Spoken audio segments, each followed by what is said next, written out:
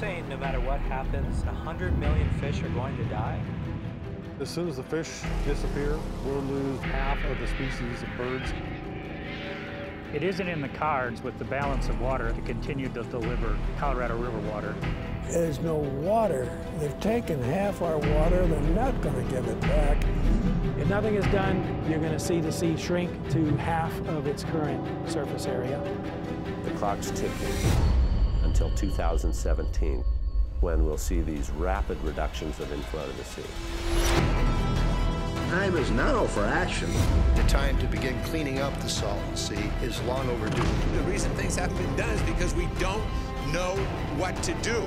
If all we do is continue to study the problem, we're going to end up with the worst documented environmental disaster in history.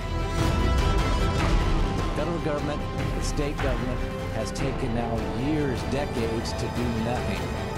And because we're sitting here talking about it now, that means it's not going to be done in time to save this shrinking shoreline.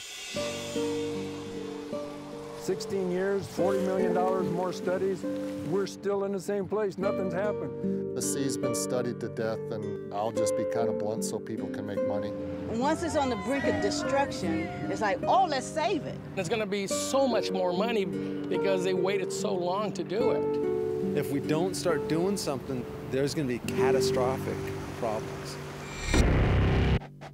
Fate of the struggling Salton Sea is a hot topic as the water dwindles, exposing lake bed and sending unhealthy dust into the air. Exposed lake bed will release wind-blown contaminants containing selenium, arsenic, and pesticides. That's a toxic soup beneath and in the soil. As a mother of two children, that scares the heck out of me. You're already noticing dust in the air, huh? Living in it now. I wake up in the morning with sand. This is going to impact all of us within 100 miles of the basin. We're easily within range of these dust storms. It would make a lot of people sick. It would kill people. We cannot afford to let that happen.